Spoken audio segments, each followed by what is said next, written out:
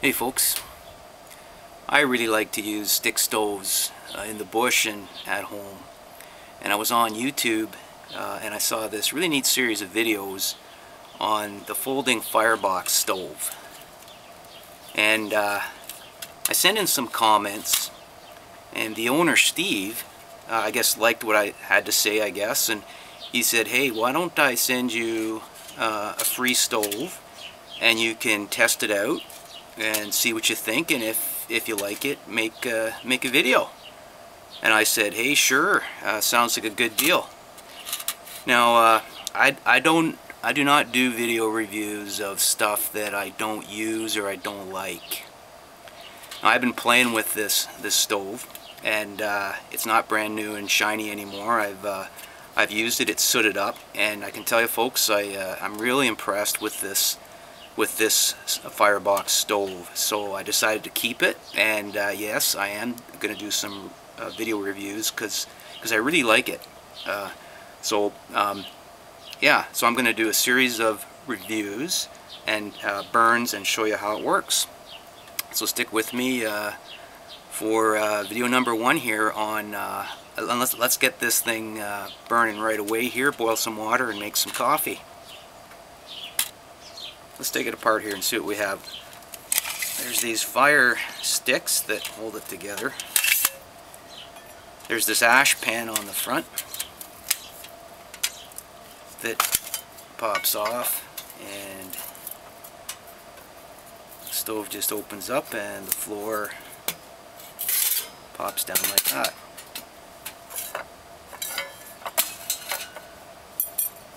I'll get these sticks out of the way here for a minute. So this is the unit here. Has this adjustable vent flap here. And it has all kinds of holes and openings for various settings for the fire sticks to put uh, bottles or cups or pots down inside or alcohol stoves or up top.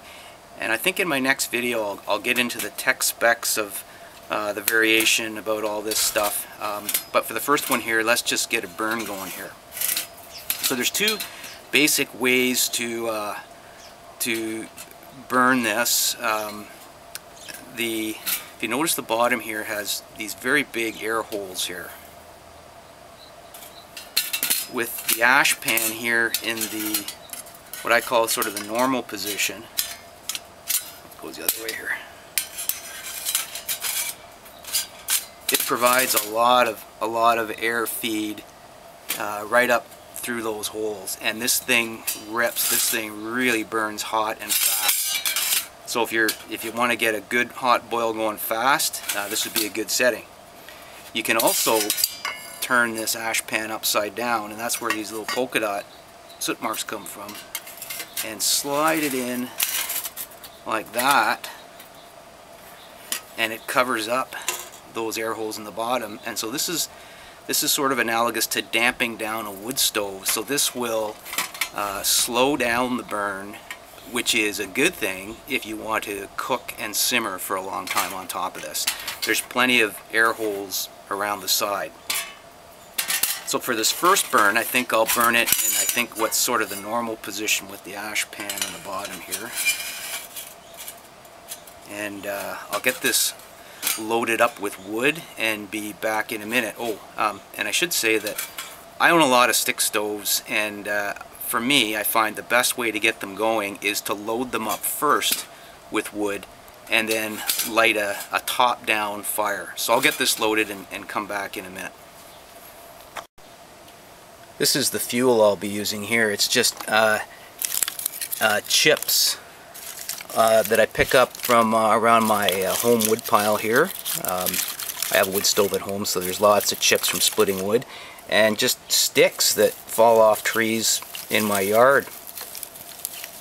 So this is the type of fuel that I'll be using. So I've got the I've got the fuel stuffed in there almost to the top and uh, what I've got here Close to the top is some birch bark. Right at the top here. And I'm going to start a top-down burning fire so I can put my water pot on right away. And just to make this little bushcrafty, I got a piece of uh, pitchwood or fat wood out of my wood pile there and made some scrapings. So I'll get this going.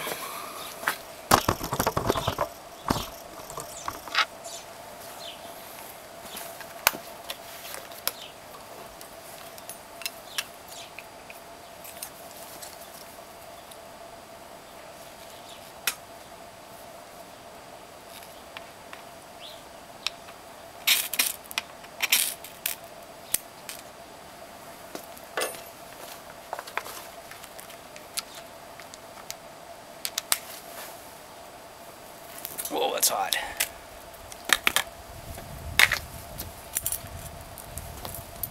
And I'll put the fire sticks pot supports on right at the top.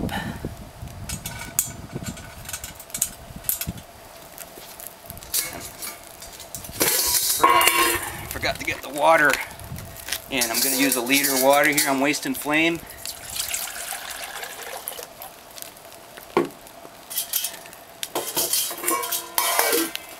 Get that on there. Okay.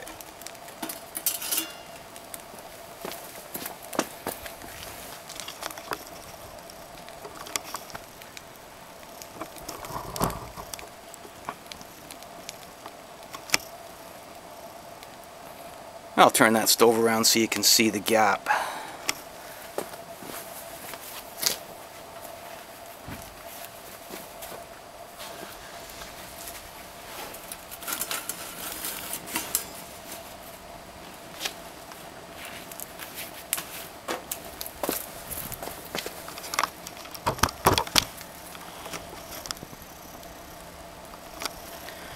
So this is my old faithful uh, Olicamp stainless steel pot. It's about uh, one and a half quarts or so. So by starting the fire, uh, or sorry, loading the, up the stove first and starting the fire, I can get the water on the, on the flame right away and don't have to feed sticks for several minutes to build it up. I can take advantage of the heat right away.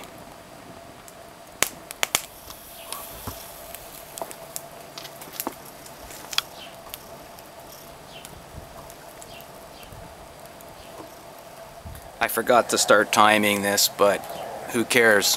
Uh, when I'm out in the bush or in the backyard, a minute or two doesn't really matter, especially when the wood is free. I'll open up that, that vent flap and see what that does.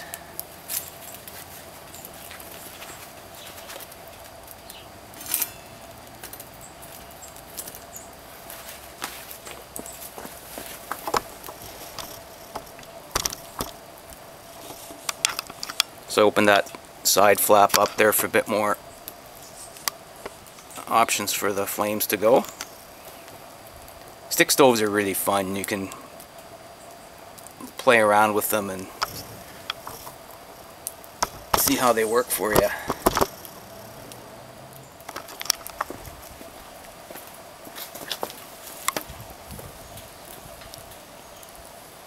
So I have not loaded any fresh fuel in there since I started it.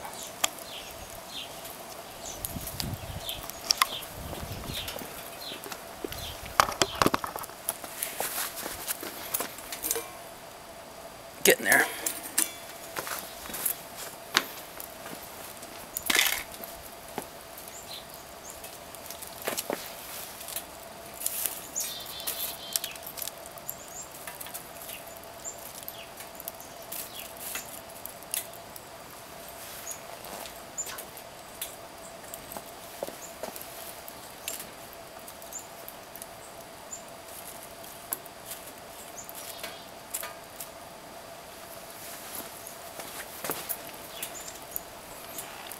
Lots of space around the top, easy to feed.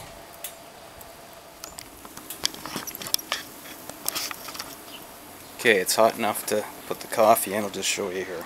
Get my glove on.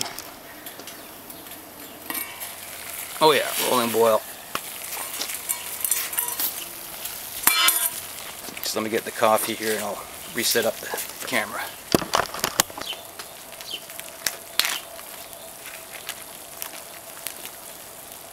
So this is how I make bush coffee. I guess what the Americans call cowboy coffee. Now it'll froth up pretty quick. So you want to make sure that when it's boiling, you don't you don't uh, let it overboil or boil over the pot. So you can gently stir that froth just gently so as not to bruise the brew and uh, that will make that that boiling and frothing will make the um, the ground sink. Now I could have added this cold as well. And uh, sometimes that works better than adding it right at the boil point where it can froth up on you because when you add it cold you can monitor it. So I still have some grounds floating on the top but they've mostly all sunk now. Just a little stirring gets them down.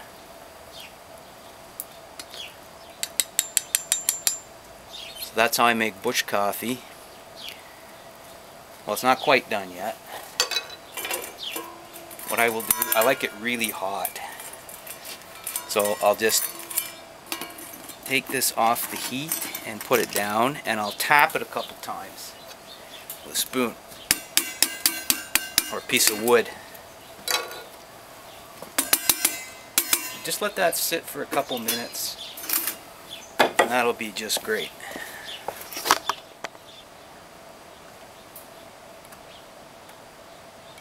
Some Arctic tundra scenes.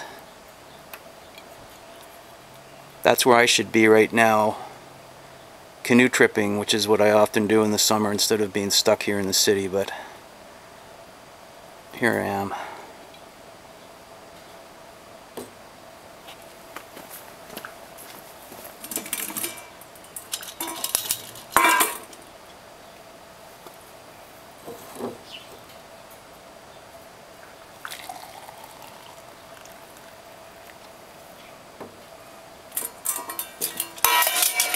That's how I make bush coffee. Are there grounds in there? Yeah, of course there are. Not filtered at all. Um, you toss out the last, the bottom of the cup there. Cheers.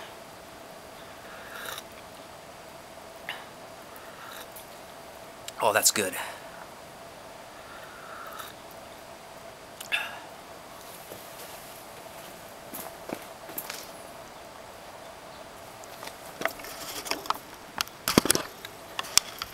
So that's my first video of uh, this firebox stove and I plan a few more. Like I said, I really like it. I only do reviews of stuff that uh, I use and I like.